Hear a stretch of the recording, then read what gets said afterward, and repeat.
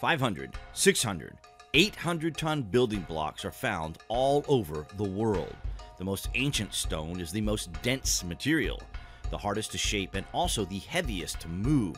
How did ancient man move stones that severely dwarf what is achievable today?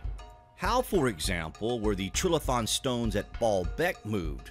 Let alone consider they were then levitated 30 odd feet into position. These stones weighed between 800 and 1200 tons each. What are we dealing with with this ancient question? How is the moving and placing of stones all over the world achievable at point zero in history? Really, think about this. Look at the problems our modern equipment have with 40 or 50 ton blocks. Yet, thousands of years ago, this was common practice. Ancient cultures across the world were transporting these building blocks hundreds of miles in many cases and then hoisting them up to 350 feet in cases like that of the Great Pyramid. Is there a lost, forgotten method of dealing with such problems? Was the Earth a very different planet when all this was going on? Could there have been a levitation strategy involved?